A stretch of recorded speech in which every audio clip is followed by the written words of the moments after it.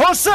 大家好，我轩老，欢迎到粤语江湖。那今天我们来介绍一个你一定会有，但是战斗中你可能会很少使用的一个有趣的系统，那就是我们的暗器系统。那暗器的话，在我们不管是武侠啦、玄幻小说里面来说，真的非常的常见。像比如说《神雕侠侣》，我们的那个裘千仞，他就有嘴巴吐那个枣核钉攻击杨过。那还有比较有名的，像我到现在记得，就是我们玄幻小说，当初我看那个《斗罗大陆》第一集的时候，那个唐三，就是他还没有重生的时候，他之前是唐门的嘛。唐门最强的暗器排名第一名就是我们的暴雨梨花针，我到现在都还记得它的名字。哇，它那个制作起来的那个材料之贵的，然后但是它的杀伤力之大，听说好像范围性真的是杀的天昏地暗这样子。那暴雨梨花针就是我记得的暗器来说里面最强的。那图上面就是我们那个唐门暗器，我们的那个袖剑，你可以看到哇，一堆的那个材料组成。所以当初一开始的时候看唐门。自己在斗罗大陆刚重生完的时候，他就是自己做了一个那个袖剑，一个暗器机关，然后就是可以攻那个在我们那个魂环里面的时候，还有一个那个暗器可以去辅助这样子。好，那所以烟雨江湖算是一款那个武侠游戏来说，暗器也是必备的。那老实讲，一开始的时候，其实到现在来说，大家对暗器的琢磨可能比较少，因为可能暗器的强度不太够，所以大家可能觉得说，还都还是都是以角色啦、武学为主，暗器可能就不太 care。那其实刚好看到有个大佬分享了一些暗器的大全，发现哦，暗器到后来来说真的非常的好玩，因为暗器吼，其实它不会耗你的攻击的那个次数，也不会耗你的聚气，它算是额外帮你攻击一次。那这一次的话，你可以上，如果你的暗器的等级够高的话，伤害很不错，而且它还可以帮你上一些敌 buff 的效果，大家都可以介绍一下。后来的暗器吼，真的五花八门，而且敌 buff 的效果真的是很多。那这个东西说不定在你在打 boss 啦，或是在打一些很难打的一些关卡的时候，说不定这个暗器就可以救你一命，然后你说不定你就可以因为这个暗器，然后你就可以上一些敌 buff，然后就可以让你赢得这场比赛。所以我觉得暗器的话还是可以练一下。好，那来介介绍暗器种类之前，先来介绍一下暗器的技巧。好，应该大家都有学了，一开始我也有学，只是说没有突没有特别介绍，因为想说大家都有，就这个暗器技巧。那暗器技巧的话，如果你还没有学，如果你是新手玩家的话，这强烈建议你去学一下，因为这个其实还蛮容易的，就是完成我们凤鸣级的那个支线任务，就是我们榜首之争的时候可以获得。然后你可以去孔雀山庄去花钱去学，五十两有点贵，不过我觉得以技巧来说，因为技巧是每那个一个人都可以每个人都可以装的，所以技巧来说这个。那个花五十两其实不会太贵了，那如果你用处来说，其实它还是真的蛮实用的。OK，那只是说你两百级之后你要去解锁上限这样子。那比较麻烦的是哈，它快速战斗不提升，副本不提升，武道也不提升，它什么都不提升。然后如果你手动打怪的话，你要是消耗体力的回合数，你才你才可以提升暗器技巧。简单说就是，如果我现在的那个体力是零。体力是零，我还是可以去打一些怪。打那些怪的时候，我用暗器，它是不会提升技巧。简单说，它就是不让你偷那个偷吃布了。它就是怕你说你那个体力都消耗完了，然后你就跑去打怪，然后去那个提升这些暗器的等级。简单说，它就是不给你偷鸡，你就只能去打那些你的体会耗消耗你体力的一些战斗，然后你要用手动的方式去丢你的暗器，你的等级才会提升。就像我上次这个是打熊，打完熊之后我的等那个暗器技巧就有增加这样子。好，简单说就是不让你偷袭。还有这个无暇棍，一般来说解无暇棍会，你会拿到那个武器，然后会打三百只小怪嘛？打这个三百只小怪哦，它也不让你提升。简单说就是真的是封锁你一些偷吃步的技巧，你就是要乖乖的去消耗体力的回合的时候，你用手动打怪，是手动去按那个丢暗器，然后它才会增加技巧这样子。OK，大概是这样，就是我们一个暗器的一个技巧这样，然后就看你喜欢丢在安，就是安装在哪一个人身上。那暗器的话，在这个游戏里面来说，呃，有。大佬们分享的一个说法是暗器哈，如果你是同样不同人丢暗器，好像会有点差异。那比较可靠的说法是背力会影响暗器的伤害，身法会影响暗器的命中。那这个可能要有待去大佬们他们做测试。有一派的说法是这样子，那简单说就是你找背力跟身法高的人去丢暗器，这样就 OK 了。因为反正暗器就只能丢那一次，丢完之后就没了。所以那个找背力跟身法高的人，尤其是背力高的，背力高的丢伤丢出去可能伤害会比较高一点这样。好，大概是这样啦。这就是我们一一开始初始的那个暗器技巧。如果还没有拿的，建议去拿一下。那还没有练的，如果你有时间的玩家也可以练一下。这样，这个暗器技巧，我觉得到后来应该蛮实用的。OK，那我们今天介绍一下暗器的种类，那个种类还蛮多的。好，那接下第一个，我们的飞黄石，那图是长这样。飞黄石应该大家都有吧？就是这个飞黄石。飞黄石是我们最初接的一个暗器。那它的制作很简单，你就去材料这边，然后这边有个石头，你平常那个那个烂石块，石块这边有个使用，使用这边有个打磨，打磨打下去之后开始跑条，跑完条一条就是变成飞黄石。名字听起来很炫，但是打起来伤害，上次我用这个打打熊好像打四百多滴血吧。那你看这个大佬的那个图，他是去找有那个塞北的野怪去测试那个强度，那他是统一都照塞北的野怪去测试那个同等级的强度这样。那他丢野怪的伤害是一千六，其实很不错。这个游戏里面打到一千多，其实也有差不多也算是一个半攻击的一个伤害，所以其实这个伤害其实还不错，而且这是额外的哦。你会看到它上面那个技能。那个上面那个技能条上面是这个暗器是额外的这样子，那这是我们最基础的那个飞黄石。那飞黄石的话，建议还是可以学一下。像像我上次打打熊的时候，我有用嘛，就是丢了四百滴血，其实还不错。如果差那一点点血就打赢的话，其实靠暗器说不定可以翻盘。好，再来我们第二个暗器就是我们袖剑。那袖剑看图的话，你看到像是一个龙头，然后它这边有一根针，然后就是一个暗那个袖剑这样。那它的伤害是略高于我们的飞黄石，在我们的那个孔雀山庄是可以购买的。如果你去如果你有那个有空的话，可以到孔雀山庄逛一逛。孔雀山庄里面还卖卖了一堆奇形怪状的东西。好，孔雀山庄就是在我们的成都，成都的左上方。如果觉得哎，真的很少去，这边有个孔雀山庄，就在我们成都的算是西南方的地方。然后上去之后，你就可以看到，你可以去买那个暗器。那它的暗器的那个其中有一个就是袖剑，来看一下哦。还有袖剑，有如意珠跟柳叶刀，等下都来介绍一下这三个。那这三个都是可以在一开始我们这边孔雀山庄买到的那个三三种暗器的其中一个这样子。好，那袖剑的攻击方式基本上就是也是直接丢了。那伤害的话只比那个黄飞黄石高一点。那射中的话有几率会额外的增加一些些伤害这样子。那效益的话跟飞黄石差不多，多高了一点点这样。好，那再是如意珠，如意珠也是那个三种暗器其中一个，就是这个如意珠。那如意珠的话，就是它用比较小的那个球球，有没有？这个比较小的球球，然后它直接用那个打人家手腕，然后有这个好处是它有一定的几率可以打掉对方的兵器，所以它的那个你会看到那个大佬的图哈，它上面有一个那个托，有个写个托字，它就是打落对方的那个兵器的样子。那打到对方的兵器，那成功率的话是依照个人的倍率所影响了，所以这些暗器都有些额外技巧，像这个。袖箭的话，它会有极难闪那个那个闪躲，那有一定的几率会射中命门这样子，这些都有些额外的一些效益，它都会写在这个说明栏上面这样。那打的话也是没什么特效，但是它有一个托，它会把别人的那个按那个武器打掉，武器打掉不知道是有什么效果，可能是让人家的那个那个敌 buff 的那个效果会高一，就是可能攻击的那个效果会高一点，会有个手无寸铁的敌 buff。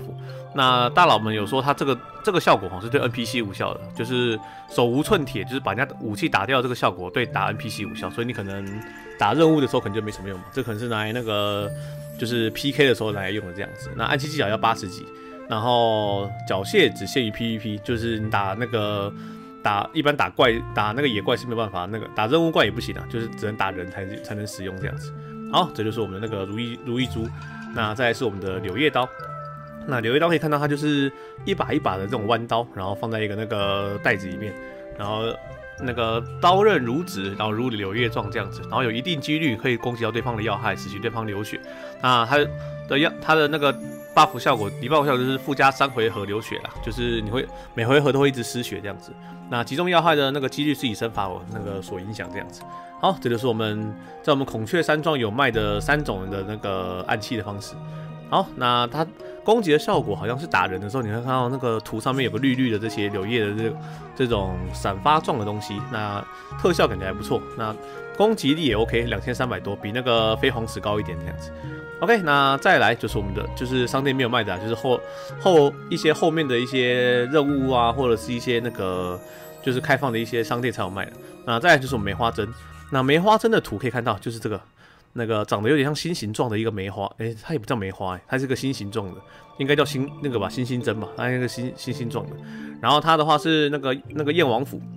就这个游戏的那个最终的那个地方燕王府，然后它叶公公会掉这样子。那它的强度，你看到它是打所有的前排的敌那个敌手，它是打所有前排的那个敌人哦。然后伤害的话是每个人一千六，再加一些额外的一些 buff 那个增益效果这样子。那看大佬打起来好像还也还不错，大概肯定有到个两三千吧。然后它有那个附加刺血的那个效果，你看到那个图，大佬那个图的话，两个人中的时候，它上面有个那个血，有一个那个写个红字的那个血。它那个血是可以大幅度增，就是阻止对方聚气啊。简单说就是让人家在聚气的时候比较慢，比较慢的时候，你的那个技能释放就会变得很很满，呃，变得很晚这样子。好，这是我们梅花针，看起来还 OK，而且它可以增阻挡人家聚气效果。你在 PVP 玩家来说的话，真的蛮实用的，比别人早发招其实就很强。好，再来是那个破浪石，破浪石应该如果你是比较，哎，现在不现在不知道玩家有没有比较高阶的玩家，如果你在解那个杭州打水漂任务的，如果你解完的话啦，那就会有了，就是杭州打水漂，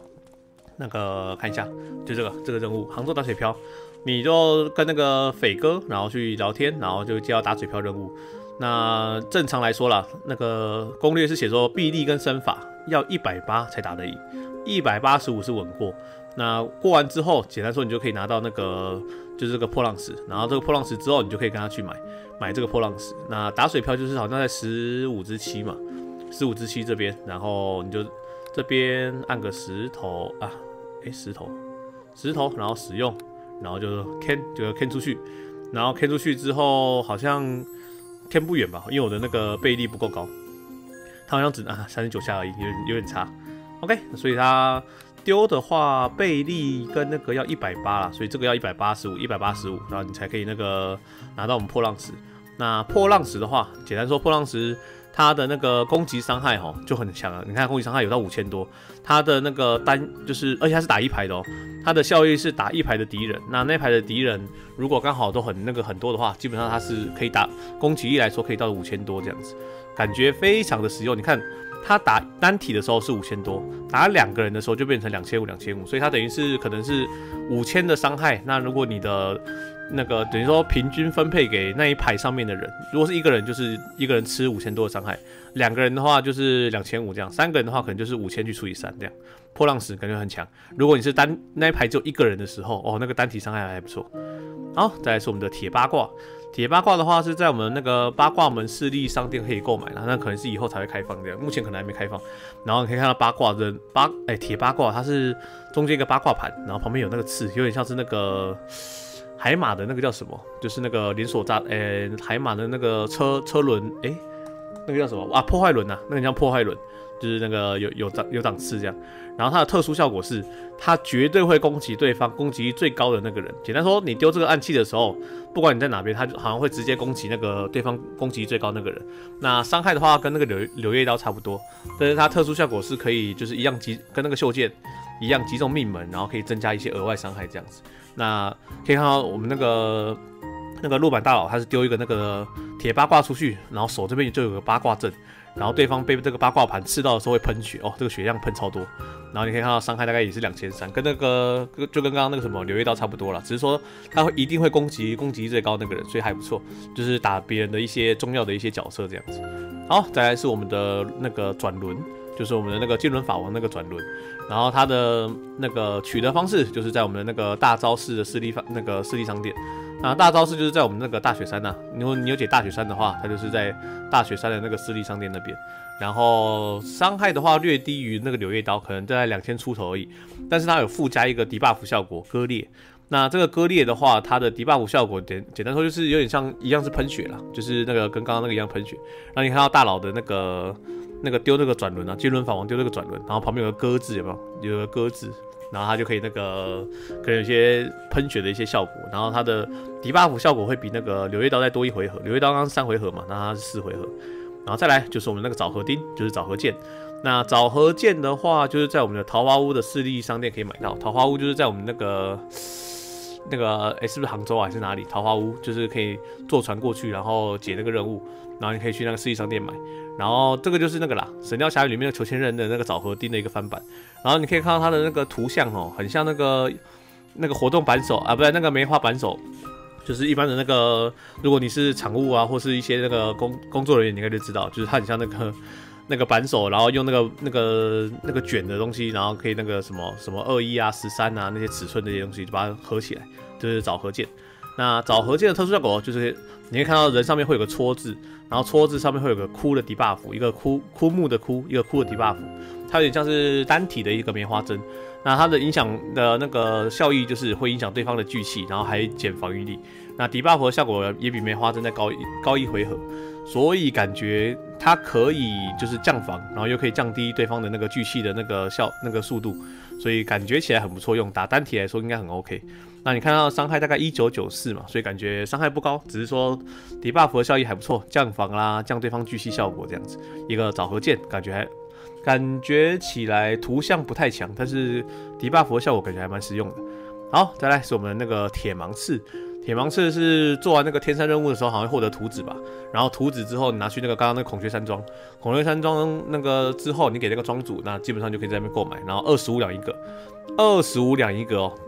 二十五两一个，真的是非常的贵。二十五两不是二点五两哦，是二十五两。然后它的效益是单体攻击，然后伤害的话一般。它的特殊效果是可以破对方的护体罡气。那那个描述是这样描述了，我也不知道护体罡气是什么。我在想会不会是那个。那个总御局还是那个，就是有些有一些人的那个在战斗的时候，前面会有第一个那个护体罡气，但你打的时候你要打一下，你才能把护体罡气打掉，然后你才可以打下去。我在想会不会是那个东西，然后打中的话，对方一回合内不能闪避，这样子还不错。然后你看他丢那个铁芒刺。那个我们那个大佬丢铁芒刺的时候，你看到那个人上面有一个那个 buff 嘛，然后他打伤害大概是一千九百多，感觉不高，但是那个不能闪避，然后再加破护体罡气，感觉还 OK 这样子。那只是说很贵了，他那个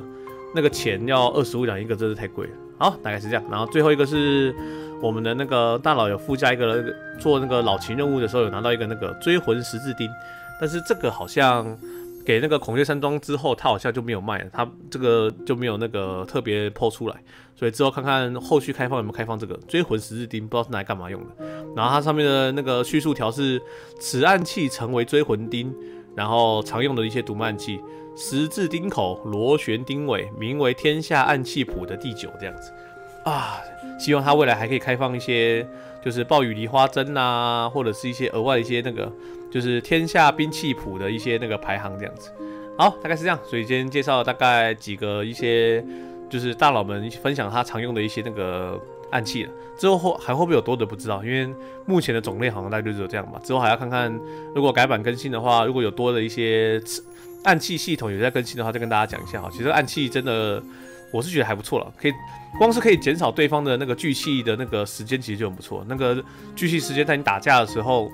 差那一点点真的有差，更不用说还可以破防啦，会喷血啦，把别人就像如意珠还可以把人家的那个武器打掉啊，那些都不错这样子。好了，分享给大家，就是大佬的一个暗器大全。如果有时间的玩家，暗器的话也可以练一下这样子。那之后如果有些网打不跳，就是一些任务 BOSS 啦，或者是一些